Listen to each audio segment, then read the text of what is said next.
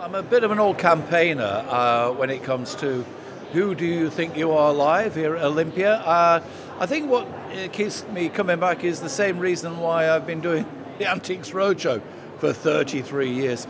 Uh, I'm basically a nosy Parker. I am basically one of those people who's desperate to know what they've got in that bag, that carrier bag, that shopping trolley, or whatever. Um, and you know, the difference about uh, this show as opposed to the TV is the TV is all about value, whereas uh, when it comes to being here today, it's all about what date is that? Can you be, you know, there's got to be an accuracy because five years, uh, you know, can make the difference between one relative and another relative. I was photographing uh, a Medal of Merit. Uh, it was an RSPCA medal for 1937.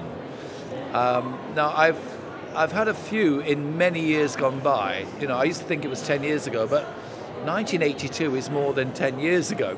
Um, and what made that particular uh, medal interesting was the inscription on the back, because it, it mentioned that it was actually it was given in uh, Jubilee year, which was 1930. It was given in May, uh, and it was made at the time when the BBC were doing their first, uh, or one of their first, should I say, live broadcasts from Alexandra Palace, and it had the actual date on there as well.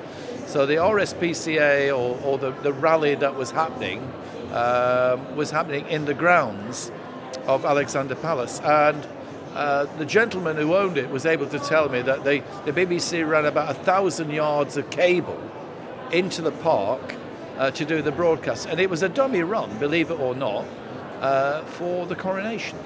Um, I think the idea of these sort of genealogical sort of jamborees is a wonderful idea, um, and um, I think you know if I dare use a, a, a, a, overused quote, I think genealogy is the new rock and roll.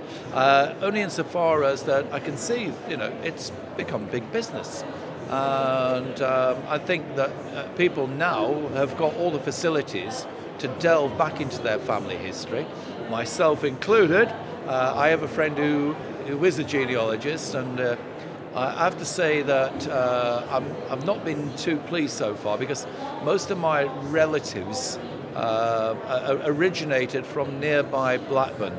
Um, but when you're a Burnley Football Club supporter, the idea that your relatives in the past may have supported Blackburn Rovers is very difficult to come to terms with.